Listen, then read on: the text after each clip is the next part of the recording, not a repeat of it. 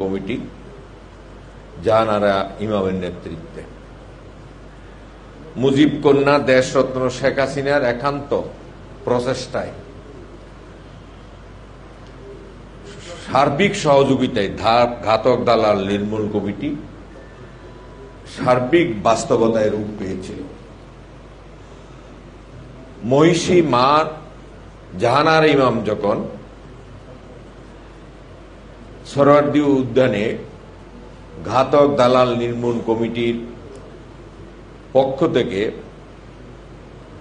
যুদ্ধ অপরাধীদের বিচারের ট্রাইব্যুনাল নাটক করলেন, জনগণকে উদ্বুদ্ধ করার জন্য। সমস্ত শক্তি ছিল শেখ হাসিনার এবং এই দেশের মুক্তিকামী, স্বাধীনতাকামী মানুষের।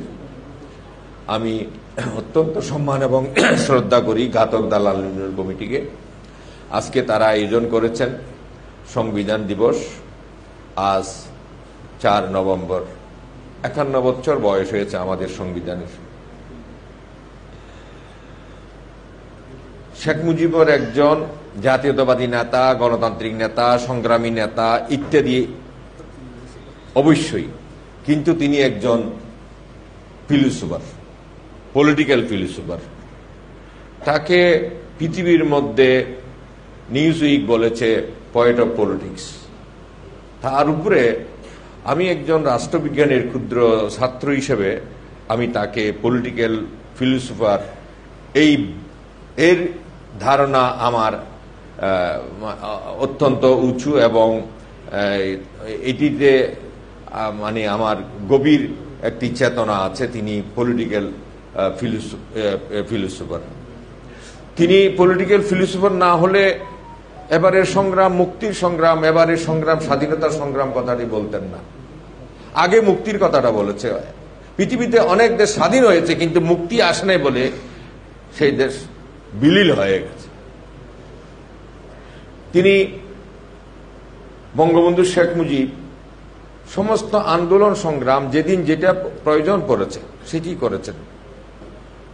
বাংলাদেশের রাষ্ট্র বাসার জন্য আমরা সকলকে শ্রদ্ধা করি, শহীদদেরকে শ্রদ্ধা করি, তাদের জন্য গান রচিত হয়েছে। কিন্তু স্বাধীনতার নেপথ্যে মহানায়ক শেখ মুজিবর চেয়েছিলেন এবং রাষ্ট্রভাষা সংগ্রাম পরিষদের তিনি যে সেদিন জেলখানায় সভাপতি ছিলেন, অনশন করেছেন, নির্দেশনা দিয়েছেন কীভাবে আন্দোলন সংগ্রাম করতে হবে। আমরা কিন্তু শেখ মুজিবকে সেখানে মূল্যায়ন করি না। গোলাম আজমকে বলা হয় রাষ্ট্রভাষার সৈনিক, ভাষা সৈনিক। কিন্তু শেখ মুজিবকে তার সম্মানটুকু এখানে আমরা জাতিরা দিই নেই। তারপরে আজকে যে দেশে তিনি আসলেন দশই জানুয়ারি, এগারোই জানুয়ারি তিনি মুজিবনগর সরকারের প্রধান হিসাবে অস্থায়ী ছিলেন। এর আগে শহীদ নজরুল ইসলাম তিনি দায়িত্ব নিলেন। পরের দিন পরের দিন তিনি বললেন যে এই দেশের সংবিধান রচনা করতে। সংবিধান এরিস্টটল বলছেন, এমন একটি জীবন পদ্ধতি যা রাষ্ট্রে স্বয়ং নিজের জন্য গ্রহণ করে। এরিস্টটলকে এত ভালো লাগছে আজকে, তিনি বলেছেন what is morally wrong can not be constitutionally right এবং বঙ্গবন্ধুর কথাও যখন মনে পড়ে, এই পলিটিক্যাল ফিলোসফারের একজন রাজনৈতিক কর্মী আমি, সেটি আমার কাছে গর্ব। এবং যে চার নভেম্বর সংবিধান খসড়া রচিত হয়ে গেল পার্লামেন্টে পেশ করা হলো ষোলোই ডিসেম্বরে পাশ হলো। কি অদ্ভুত, কি বিস্ময়কর ব্যাপার। একটি স্বাধীন রাষ্ট্র নাম মাত্র বলা হইল অব দ্য রেকর্ড যেখানে সমস্ত দেশটি জেলে, জ্বালিয়ে, পুড়িয়ে ধ্বংস করে দিছিল। মানুষ এসে দাঁড়াইতে পারে নাই। চট্টগ্রাম বন্দর চালু হয় নাই, এয়ারপোর্ট চালু হয় নাই, ট্রেন স্টেশন, ট্রেন লাইন চালু হয় নাই। সে অবস্থায় তিনি মনে করলেন, প্রথমেই সংবিধানটি রক- রক্ষা করা দরকার। সংবিধান সংবিধান রচনা করা দরকার। ডক্টর কামাল হোসেনকে দিয়ে চৌত্রিশ জনের কমিটি করা হলেও এই সংবিধানের ব্রিটিশ আইনজ্ঞকে দেশে এনে এটি তত্ত্বাবধান করার দায়িত্ব দিলেও এটি সুপ্রিম ভাবে দেখেছেন শেখ মুজিবর। প্রতিটি লাইন, প্রতিটি শব্দ তিনি যোগ করেছেন, বিয়োগ করেছেন, কেটেছেন। এমনও কথা আছে। অনেক রজনী তিনি বিনিদ্রভাবে ছিলেন এই সংবিধানের জন্য। পাকিস্তান দেশ হয়েছিল সাতচল্লিশে, ভারত দেশ হয়েছিল। তারা একযুগ ধরে সংবিধান রচনা করতে পারে নাই, বেশি দূরে যাইতে হবে না। আমাদের মফিজ সাহেব বলেছেন, আজকে সম্মানিত সভাপতি, আমাদের প্রধান বক্তা ডাক্তার মাহফুজ অনেক আন্দোলন সংগ্রামে ছিলাম, একবার ফটিকচুরিতে গিয়েছিল, শিবির জামাত গ্যানেট মেরে দিয়েছিল, আমাদের মিটিং এর কাছাকাছি। সাহস হারান নাই আমাদের মফিজুর রহমান। অত্যন্ত দক্ষ, সাংগঠনিক শক্তি দিয়ে চিঠি ছাত্রলীগকে গড়ে তুলেছেন, সভাপতি ছিলেন এবং তিনি দক্ষিণ জেলা আওয়ামী লীগের বর্তমান সাধারণ সম্পাদক এবং আমার বন্ধু প্রকৌশলী দেলোয়ার। আমরা একসাথে ঢাকাতে এবং মনি সিং যখন মারা যান, কমরেড ফরহাদ যখন মারা যান, একসাথে আমরা ছিলাম। সুতরাং আজকে সরকারের তিনটি চাকাকে কন্ট্রোল করার জন্য আইন বিভাগ, শাসন বিভাগ, বিচার বিভাগ, এই তিনটি চাকাকে কন্ট্রোল করার জন্য আমাদের সংবিধানের কোনো বিকল্প ছিল না। এবং তিনি তা রচনা করতে পেরেছেন। ডক্টর কামাল হোসেনের নেতৃত্বে কিন্তু বঙ্গবন্ধুর সার্বিক তত্ত্বাবধানে তিনি এই সংবিধান রচনা করেছেন। বঙ্গবন্ধুর একটি সৌভাগ্য হয়েছিল। তিনি চোদ্দ বছর জেলে ছিলেন পাকিস্তানের আমলে। চোদ্দ বছরের প্রতিটি দিন তিনি, একটি দিনে তিনি নষ্ট করেন নাই লেখাপড়া ছাড়া, রিচার্জ ছাড়া। এখনও যারা বঙ্গবন্ধু ভবনে যান, দেখবেন যে বঙ্গবন্ধুর কত বড় লাইব্রেরি। কত বড় লাইব্রেরি, কতগুলো বই তার সংগৃহীত। এবং বঙ্গবন্ধুর অসমাপ্ত আত- আত্মজীবনী পৃথিবীব্যাপী আজকে কি সমাদৃত? এবং প্রতিটা বিষয় এখানে আসছে। অনেক রাজনীতিক অনু এখানে এসেছে তার আত্মজীবনীতে। এটি বিশ্লেষণ করলে অনেক কিছু বড় হয়ে যাবে। অনেক অনেক কিছু লেখা যাবে। সুতরাং আমরা একসাথে রাজনীতি করেছি। পাঁচত্তরকে আমরা মেনে নিতে পারিনি। একাত্তরে বর্বরতাকেও মেনে নিতে পারিনি। শিশু বয়সে মুক্তিযুদ্ধে ঝাঁপিয়ে পড়তে চেয়েছিলাম ট্রেনিংয়ে গিয়েছিলাম। শিশু বয়স ছিল বলে আমাদেরকে ব্যাক করেছে। ছাত্রলীগ করেছি। ধারাবাহিকভাবে আমরা রাজনীতিটুকু করে এগানোর চেষ্টা করেছি। ছাত্রলীগের প্রেসিডেন্ট হওয়ার কথা ছিল। একানব্বইটি এমপি হওয়ার জন্য আমার নাম ডিক্লেয়ার করে দিল। মাননীয় প্রধানমন্ত্রী, আমি গিয়ে ওনাকে বিনীতভাবে বলছি। আমি একটি জায়গায় একটি জায়গায় আমি কর্মী সৃষ্টি করি আপনার এবং বঙ্গবন্ধুর আদর্শের। আমাকে এমপি দিয়েন না। আমরা ছিলাম। এখনও জেলা পরিষদের চেয়ারম্যান আমার পাইতে হবে। আমার অত্যন্ত ঘনিষ্ঠ সহযোদ্ধা বন্ধু মফিজ জানেন, মফিজুর রহমান সাহেব জানেন যে আমি এত ছিলাম না। আমি এক রাজনীতি করি, কিন্তু রাজনীতির মধ্যে আবর্জনা হয়ে গেছে। জামা শিবির দেশে দেখা যায় না। কোনো অঙ্গ সংগঠনের মধ্যে তাদের প্রচণ্ডভাবে বিচরণ তারা তারা লম্বা জামা কাপড় ইয়ে বদলিয়ে কখনো সাবারি পরে, এখন তারা মুজিব কুট পরে ফেলেছে। তারা এখন মুজিব কুট পরে ফেলেছে। সেটি আমরা অতীতেও দেখেছি, অভিজ্ঞতা আছে। আবার এইও দেখেছি red flag oppose to red flag সুতরাং আমাদেরকে মূল জায়গায়, মূল স্রোতে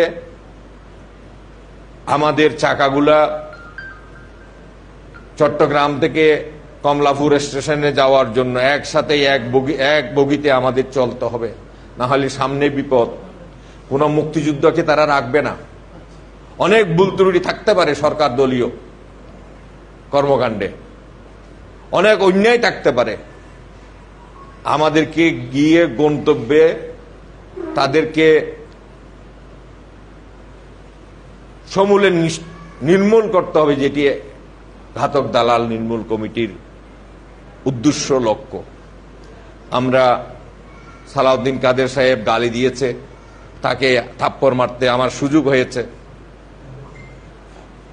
সেভেন্টি নাইনে ফটিকচুরি অনুরূপ তিনি নির্বাচন করেছিলেন, বলেছিলেন ব্যারিস্টার সালাউদ্দিন কাদেরকে হারিকেল মার্কায় ভোট দিন। আমি প্রতিবাদ করেছিলাম, তিনি অনার্স পার্সও না তিনি ডিগ্রি পার্সও না, তিনি উকিল হবেন থেকে ব্যারিস্টার হবেন থেকে আমরা করেছি। আমার অনেক সহযোদ্ধা বন্ধু যাদেরকে মার কুল থেকে এনে ছাত্রলীগ করিয়েছি, অনুরূপভাবে মফিস সাহেব তারা আমার তাদের আমার জানাজা পড়তে হয়েছে। তারা শহীদ হয়েছে জামা শিবিরের হাতে, সেগুলো আমাদের কাছে আছে। এবং আমরা ছাত্র হিসেবেও অতি মেধাবী না হলেও আমরা মেধাবী ছিলাম। আমরা কষ্ট করেছি, রাজনীতি করেছি। এবং এই চিটাং কলেজ হোক কমার্স কলেজ হোক রহিমের ভাইকে মেরে ফেলেছে, আমাদের উপর, আমার আর মফিজের উপরে বৃষ্টির মতো জামা শিবির গোলা বর্ষণ গুলি বর্ষণ করতেছিল, আমরা লাশ উদ্ধার করে এনেছি আমাদের সহকর্মীদের। খন্দাকার মোস্তাককে কেউ আক্রমণ করে নাই, তার বাড়িতে আমরা আক্রমণ করেছি বুয়েটের ছাত্রদেরকে নিয়ে। নুর হোসেন অতি সন্নিকটে মারা যায়। আমাদের নানক ভাই আর আহমদ হোসেন ভাই, আমার, আমরা তিনজনেই ছিলাম। সেলিম দেলোয়ারের সাথে আহত হয়েছি। এবং প্রতিটা বিষয়ে আমরা কোনোদিন পিসপা হয় নাই। আমরা, আমাদের বয়স হয়েছে, মনে হচ্ছে যে এখনও রাজনৈতিক শক্তি এবং রাজনৈতিক টিস্যুগুলা আমাদের অনেক অনেক শক্তিশালী। এখনও আমরা আমরা দুই মন ওজনের ঘুষি মারতে পারব জামা শিবিরের উপরে। আমরা তিরিশ মাইল ব্যাগে এখনও ঘন্টায় আমরা দৌড়াতে পারব, রাজনৈতিক দৌড়। আমাদের মনোবল অত্যন্ত শক্ত, শক্তিশালী।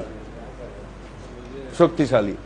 সুতরাং আজকে এই কনস্টিটিউশনকে কনস্টিটিউশন কোরআন শরীফ নয়। কোরআন শরীফ ইয়ে না এই ইয়ে না ধর্মীয় গ্রন্থ না।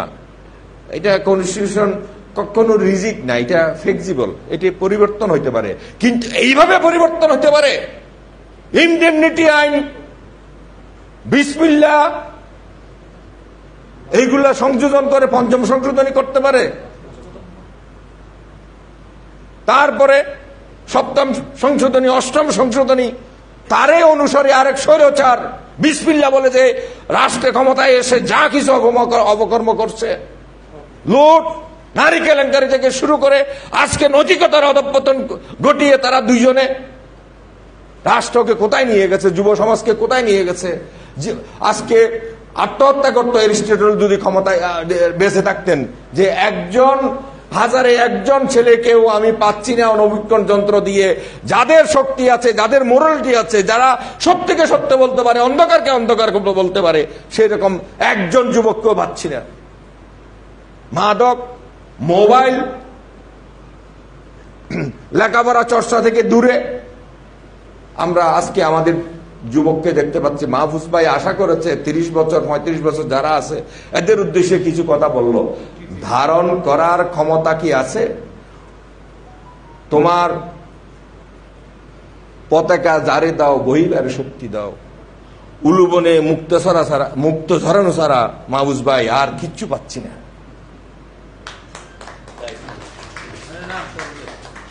কিছু পাচ্ছি না, সূর্য উঠবেই, মেঘ কেটে যাবেই, আশাবাদী। হতাশা না। হতাশা না, বিশ্লেষণ, আমরা এগুলো বক্তৃতা করছি না। এইগুলো বাস্তবতাটাকে তুলে আনার চেষ্টা করছি। আমরা বলছি, আমরা যদি না জাগি মা, কেমনে সকাল হবে? তোমার ছেলে, বলো তারপরে, তোমার ছেলে উঠল, সকাল হবে তবে। আমরা আশাবাদী। আমরা আশাবাদী, আমরা নিরাশাবাদী ন আমরা আমরা কাঁদতে জানি না, হাসিও আমাদের ঠোঁট শুকিয়ে গেছে, আসতে পারে না, কিন্তু বক্র হাসি দিয়ে এই রাজাকার আলবদরকে শেষ করতে পারব আমরা। আমাদের হাসি প্রেমের হাসিও আমাদের হাসি কর্কশ, মলিন হাসিও আমাদের হাসি বক্র হাসিও আমাদের প্রেমের হাসি নেই। মলিন হাসি থাকতে পারে, কিন্তু তারপরেও একটি হাসি আছে যেটিকে আমরা সকাল, রাঙ্গা সকাল ফুটাইতে পারব। তো বলছি, এই আজকে যে অবস্থান বাংলাদেশ, আমরা যখন কলেজে পড়তাম, স্কুলে পড়তাম, দুই একটি রবীন্দ্রসঙ্গীত গাইতাম, বন্ধুদেরকে আড্ডা দিতাম প্যারেডি করতাম, দুই একটি নজরুল সংগীত আমরা গাইতাম। হয়তো কারও উদ্দেশ্যে দুই একটি কথা সেরেও দিতাম, বলেও দিতাম। কিন্তু আজকে কি সে পরিবেশ আছে? স্কুলের ছাব্বিশে মার্চ করবে। ওই লম্বা কোট্টাওয়ালাদের কাছ থেকে অনুমতি নিতে হবে। সেখানে বক্তৃতা হবে কতক্ষণ এবং সংগীত হবে কতক্ষণ, জয় বাংলার গান কতক্ষণ বলা যাবে?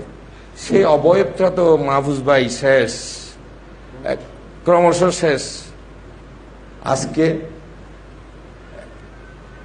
এই যে ওনারা মুফতি হোক, এই হাদিস, কোরআন শিখে, আলহামদুলিল্লাহ। ওনারা আলেম হোক, হাদিস, কোরআন শিখে, আলহামদুলিল্লাহ, শুকর। ওনারা জ্ঞানী হোক, আল্লামা হোক মাদ্দাজিল্লুল আলী হোক, কোরআন শিক্ষা গ্রহণ করে প্রপারলি কিন্তু কামিল পাস না করে, দাখিল পাস না করে, লম্বা জুব্বা পরে হ্যাঁ আমরা হব তালেবান, বাংলা হবে আফগানিস্তান। লেখাপড়া না করে। যখন তখন মুক্তি যখন তখন মাদ্দাজিল্লুল আলী যখন তখন এই সেই, এই তালিতে পড়ে গেছে আজকে এই অবয়ব। সেদিন উদিসি ছিল, ছাত্র ইউনিয়ন ছিল, কমিউনিস্ট পার্টি ছিল, প্রগতিশীল সংগঠন ছিল, ডক্টর আনিসুজ্জামান ছিল, রবীন্দ্রনাথ ছিল, ষড়যন্ত্র শরৎচন্দ্র ছিল, সমরেশ বসু ছিল। আজকে তো এগুলো কিচ্ছু নাই। আজকে শুধু আছে একটা মোবাইল। এবং সেই মোবাইলে কিন্তু কোনো প্রগতিশীল চিত্র তাদের চোখে নাই। অবয়বটা ভিন্ন, পরিবেশটা ভিন্ন ভিন্ন। এবং সেখান থেকে শেখ হাসিনা সাঁতার কাটছেন, এগিয়ে যাচ্ছেন, তার কিছু লোকজনকে নিয়ে সম্পূর্ণ প্রতিকূল অবস্থায় আমরা তার পাশে থাকি। আমরা তার পাশেই থাকি। আমরা আমরা ওই দিনও বঙ্গবন্ধুকে বাদ দিয়ে ভিন্ন ভিন্ন জিনিস খুঁজেছিলাম।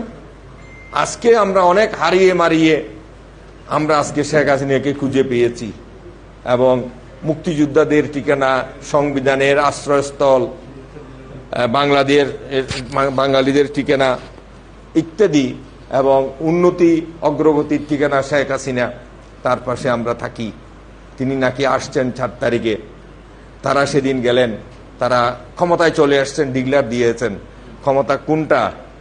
তাদের চেয়ার কোনটা? রিয়াজদিন বাজারের ফুটপাতে বিক্রি করেছে সেই চেয়ার? নাকি জনগণ কর্তৃক? জনগণ কর্তৃক এই সংবিধানকে সামনে রেখে যে চেয়ার জনগণের রচনা হয়, সেই চেয়ার, সেই সিংহাসন, সেটি আমাদের দেখার জন্য কঠিনভাবে এগুতে হবে। আমি একটু একটা প্রোগ্রাম নিয়ে ফেলেছি। আমি আমাদের শকত বাঙালি এবং আমাদের কাজী মহসিন এবং আমাদের অত্যন্ত রাজনীতি ঘনিষ্ঠ সহকর্মী মফিজ সাহেবের একান্ত অনুরোধে এখানে এসেছি এবং আজকে হঠাৎ করে প্রোগ্রামটি দেওয়া হয়েছিল। আমি আসলে এলোমেলো এবং এই সংবিধানের উপর কথা বলার জন্য আমাদের অনেক কিছু স্টাডি করা দরকার। সংবিধানে সংবিধান এমন জিনিস একটা নকটা বললেও পার্লামেন্ট লাগে, একটা নকটা তুলতেও পার্লামেন্ট লাগে, জনপ্রতিনিধি লাগে জনপ্রতিনিধি লাগে। সুতরাং এই, এই- সংবিধানকে আমাদের জানতে হবে।